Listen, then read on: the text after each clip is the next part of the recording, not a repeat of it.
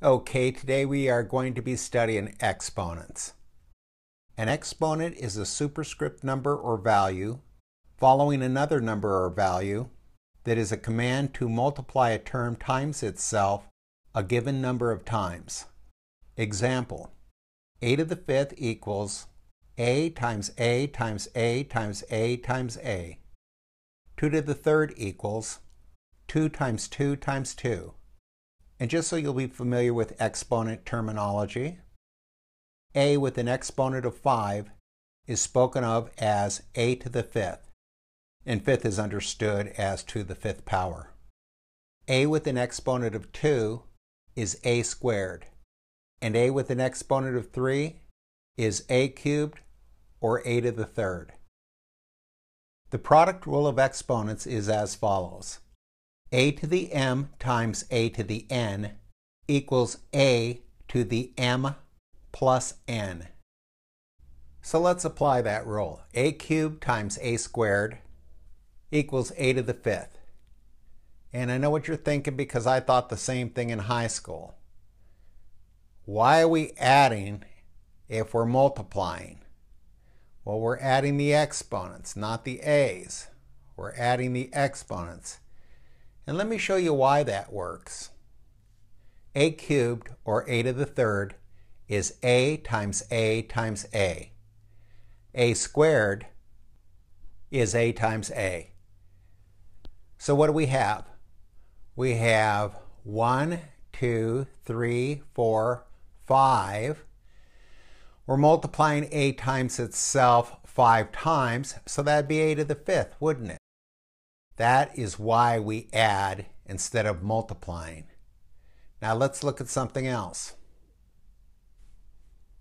Okay, in this problem we have 3 squared times 3 to the 6th times 3. What is that going to equal? That is going to equal 3 to the ninth. And you're thinking, wait a second.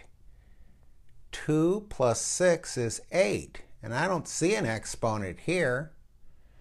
Well, there is an exponent there. The exponent there is 1, but we don't write the 1. It is superfluous. Remember that word? I know we're getting into English, but superfluous means extra and not needed.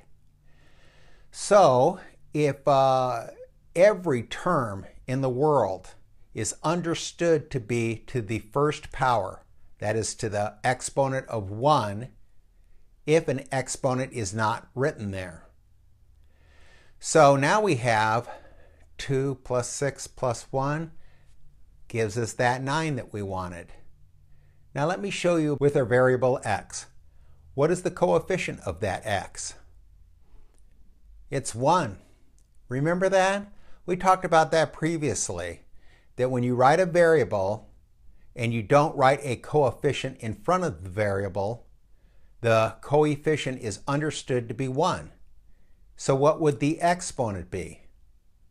It is understood to be 1 also.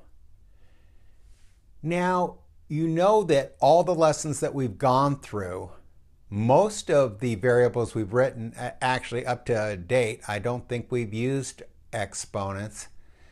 So almost all the numbers and almost all the variables that we've written do not have a coefficient and do not have an exponent. Now, can you imagine if everything we wrote down, we had to put a 1 in front of it and an exponent of 1? It would get a little bit ridiculous. And so, just to make life a little easy on ourselves and all this not be so cumbersome, we just write x. And right here we just wrote 3. We don't, now it might be nice to put that one up there because all the other numbers, all the other 3's have exponents. And you can do that while you work just to remind yourself. As a matter of fact, I encourage you to do that. Put that one up there while you're doing the work just to remind you, don't forget to count that 3. Now let's do another problem. Now that's not as bad as it looks, and let's multiply that out. But before we do, why don't we add the exponent of 1 to all the variables that don't have an exponent? Well, the first thing that we want to do is to multiply out the coefficients. 2 times 5 is 10, and our x's have an exponent of 3, and 1 is x to the fourth. And now let's multiply out our y's. We have y to the fifth plus y to the second, or y squared, would be y to the seventh. And we have a z exponent of 1 and a z exponent of 3. And that is the answer when we multiply all of this out or we simplify it is 10 x to the fourth, y to the seventh, z to the fourth. Now let's see what happens when we divide variables with exponents. The quotient rule of exponents is when a to the m is divided by a to the n, it will equal a to the m minus n. And that makes sense. Uh, what's the opposite of multiplication? It's division. And what is the opposite of addition? It's subtraction. So if you use addition on exponents when we're multiplying, when we're dividing, you should use subtraction. And we'll see how that works.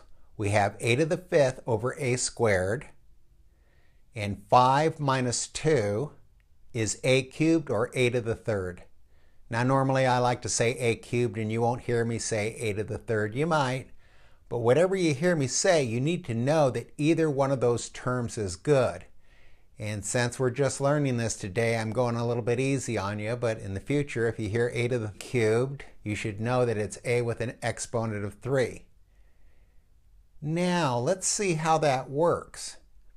a to the fifth is a times itself 5 times.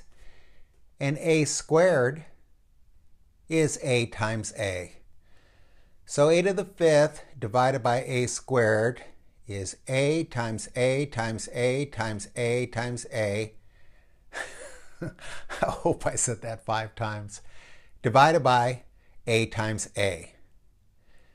Now, if you remember in our previous lessons, as long as there isn't a plus sign or a minus sign here, we're multiplying all of that. A over A is 1. So we can cross out an A on the top if we cross out an A on the bottom. And it looks like we can do that again. And what do we have left? We have nothing on the bottom. Both those A's are crossed out. And we have three A's on the top.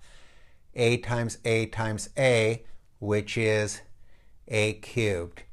Now you don't want to be doing this every time. I'm only doing this to show you why this is true. This is just some nonsensical mathematical philosophy.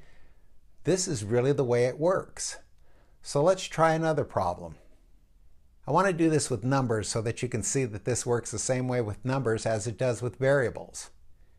So 7 to the 13th divided by 7 to the 5th is 7 to the 8th.